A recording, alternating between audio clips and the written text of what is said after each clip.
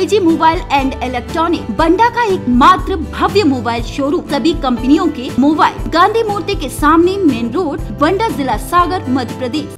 सागर ज़िले के बंडा के दलपतपुर में गुरुवार शाम एक ट्रक ने ट्रैक्टर को जोरदार टक्कर मार दी, जिससे ट्रैक्टर सहित ट्राली दोनों पलट गए। वहीं ट्रैक्टर ड्राइवर गंभीर रूप से घायल हो गया है।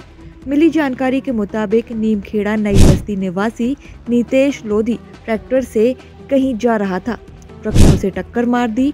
टक्कर इतनी तेज थी कि ट्रैक्टर और ट्राली अलग होकर दोनों ही पलट गई। वहीं नीतेश लोधी गंभीर रूप से घायल हुआ।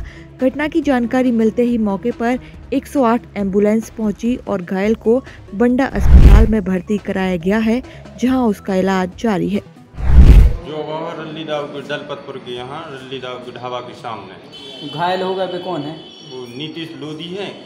कहाँ के ग्राम नीम खेड़ा के है नई बस्ती में पगड़ा डैम के यहाँ रहते हैं। पिता का नाम हनुमत सिंह लोधी है। कैसे हुआ ये एक्सीडेंट? ये यहाँ से चिलुआ जा रहे थे उनकी बहन है नीतीश की। तो सामने से ठेले ने टक्कर मार दी ट्रैक्टर पलट गया।